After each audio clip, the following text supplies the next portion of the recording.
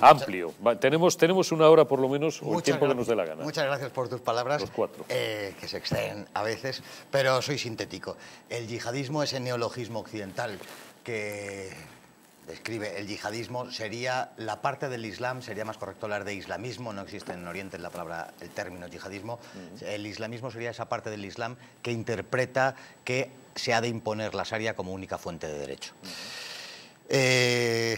Me parece enteramente incorrecto hablar de Islam radical e Islam moderado. No existe un Islam moderado ni un Islam radical, existe el Islam. Lo que sí existe son las interpretaciones que del Islam se hacen. Solo en, en esa parte, la parte mayoritaria del Islam, que es el Islam suní, hay cuatro escuelas y dos de ellas la jambalí y la maliki, en gran parte, son las que interpretan que se puede imponer a través de la violencia la Sharia como única fuente de derecho. Eso es el yihadismo.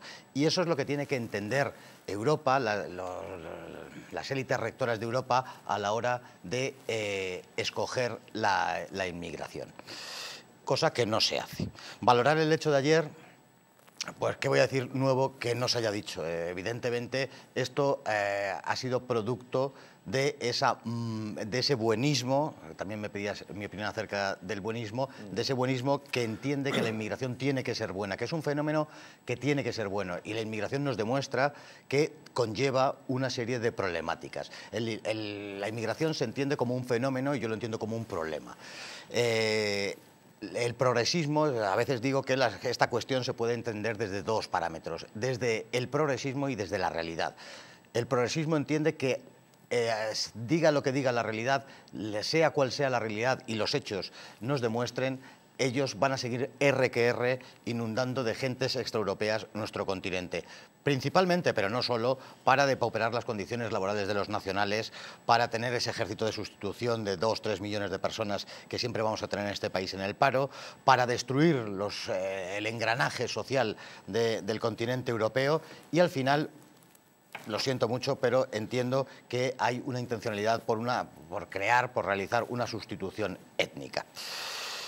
Aquí hay que hablar y para dar palabra a los demás que estamos en la mesa, eh, las palabras de Sánchez han sido flatus vocis, bla, bla, bla, clásico politiqueo. Feijó ha tenido el cierto valor al hablar de que sí hay un, hay un trasfondo eh, religioso, puesto que parte, todo esto parte de una religión. Lo que no hay que condenar es a la religión en, sí. Aquí, perdona que tenga un mínimo paréntesis, a Feijó sobre todo, dentro de las críticas que se le han hecho, lo que más se le ha criticado es que él llega a leer barbaridades de los deficientes habituales en, Twitter que han, llegado a poner imágenes del Ku Klux Klan y no sé qué, más, qué, más, chorradas y tal, cuando decía en primera instancia que eh, hace siglos que los cristianos no matan por cuestión de religión. Y es verdad, no matan por cuestión de religión. No sé si tendríamos que remontarnos a las cruzadas o, tal, ¿no? Mientras que hoy en día este tipo de execrables sucesos se siguen produciendo a día de hoy. Hay dos elementos. muchas veces se dice que no se acepte la inmigración islámica, Primeramente, habrá que hablar de la soberanía. España no tiene soberanía para decidir en cuestiones de materia de inmigración. En último extremo fue la inmigración la gota que colmó el vaso para que el Reino Unido exigiese el Brexit y su salida porque no se tiene soberanía. Y las naciones tienen que tener la soberanía para decidir si quieren inmigración, que a lo mejor no lo deberían preguntar, no lo van a preguntar nunca, pero eh, si quieren, en países como Suiza se va a hacer un referéndum al respecto, eh, o se hizo en el pasado para la construcción de mezquitas, o países de Europa del Este que se han cerrado en banda y han querido de cerrar la inmigración islámica. Eh, y pero lo que sí se tiene que plantear las élites rectoras es ante gente de población de origen islámico saber de dónde vienen, qué tipo de escuelas coránicas son las predominantes en ese país y el trasfondo cultural. No es lo mismo gentes de una de las cunas de la civilización mundial, eh, como es el creciente fértil eh, Líbano, Siria y, Irak, que gentes del norte de África, porque habrá que hablar que hay civilizaciones eh, homologables a la nuestra y gente incivilizada, y esto habrá que decirlo.